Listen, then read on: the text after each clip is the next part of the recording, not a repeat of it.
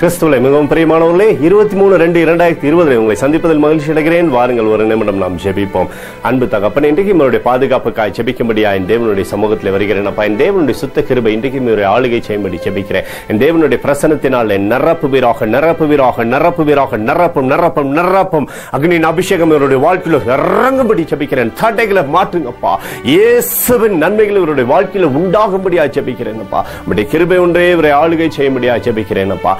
பாதுகாத்துக் கொள்ளுங்க பாதுகாத்துக் கொள்ளுங்க இயேசு கிறிஸ்து சிந்தின பரிசுத்த ரத்தத்தை இவர் மீதும் இவர் குடும்பத்தின் மீதும் ஒரு செய்கிற சகல காரியத்தின் மீது பூசுகிறேன். அதனால இந்த நாள் முழுவதும் நன்மைகளும் கிருபியும் பாதுகாப்பும் உண்டாக போவதற்காக நன்றி தகப்பனே. மல்கியா ஒன்று ரெண்டின்படி நான் உங்களை சிநேகித்தேன் என்று சொல்லி எழுதியிருக்கூடிய வார்த்தையின்படி ஆண்டவரே நீர் இவரை நேசிப்பதற்காக நன்றி. உங்களை நேச கரம் இவருடைய வாழ்க்கையிலிருந்து செயல்படட்டும்.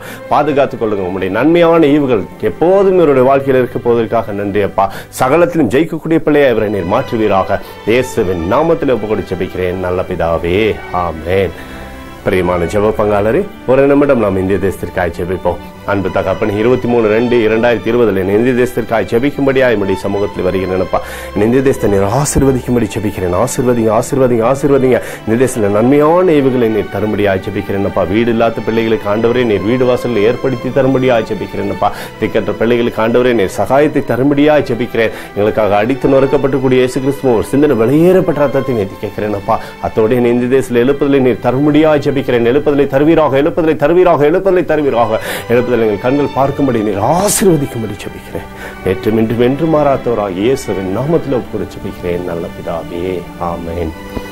பிரியமான ஜெப பங்காளரே ஆண்டவர் நம்மளோட ஜெபத்தை கேட்டுக்கிறார் இந்த நாள் முழுவதும் கர்த்தராக இயேசு கிறிஸ்துக்குள் நீங்கள் வளரும்படி உங்களை வாழ்த்தி ஆசிர்வதிக்கிறேன். ஆமேன்.